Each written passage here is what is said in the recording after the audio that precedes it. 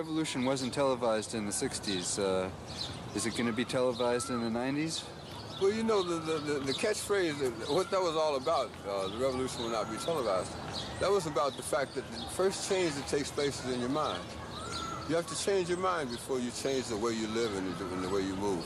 So when we said that the revolution will not be televised, we were saying that, like, that, that, that the thing that's going to change people is something that no one will ever be able to capture on film. It'll just be something that you see, and all of a sudden you realize, I'm on the wrong page.